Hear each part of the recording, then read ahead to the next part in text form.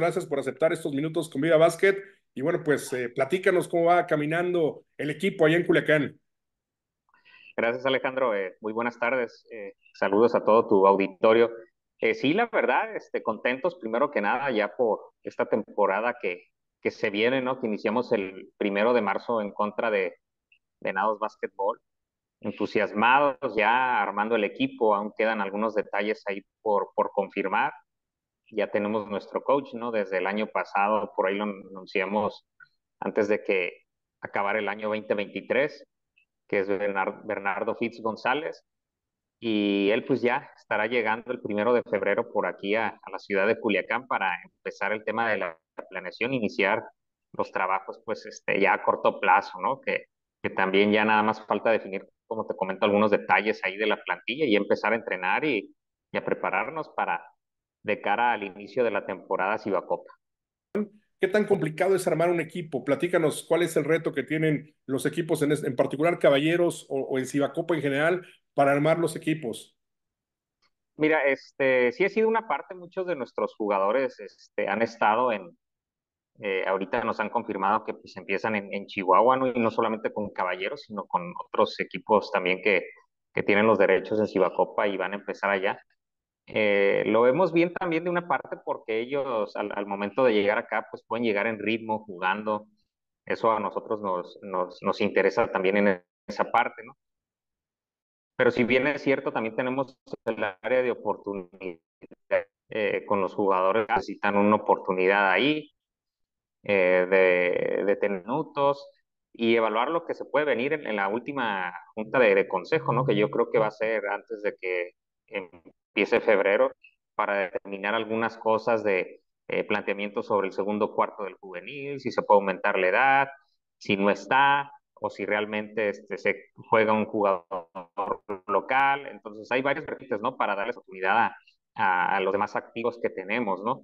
pero no, no, ha sido en sí tan complicado. Entendemos también la parte del jugador que quiere jugar este, la mayor parte del tiempo y, y nosotros como liga este, hacemos lo nuestro, ¿no? Vemos nuestro proyecto deportivo, también el coach es consciente de algunas cosas y, y va sacando este, lo que es parte de, de su experiencia para, para, poder montar un equipo eh, con nuestros jugadores base, que son los, los jugadores americanos, ¿no? Pero Saúl este, lo empieza a tener en el radar terminando el Cibacopa 2023, ¿no? Y decide contratarlo por ahí del mes de septiembre, octubre, eh, viendo su análisis, es un coach nuevo para Cibacopa.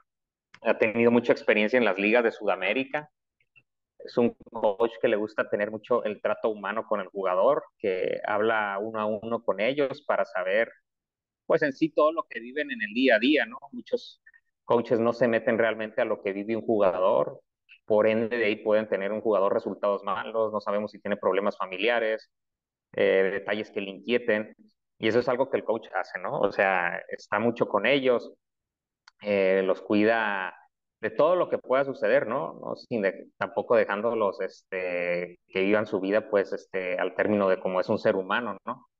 Pero eso es lo, lo bonito de él, ¿no? Y, la disciplina que tiene, su filosofía es de mucha defensa. Él dice que eso es lo primordial para él.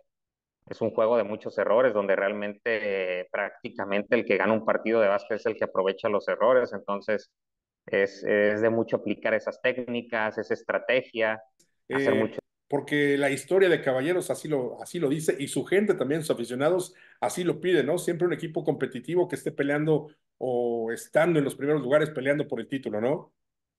Sí, yo creo que eso, eso no es negociable, ¿no? O sea, personalmente yo lo veo así, desde nuestras áreas, que cada quien tenemos que ser unos ganadores, ¿no?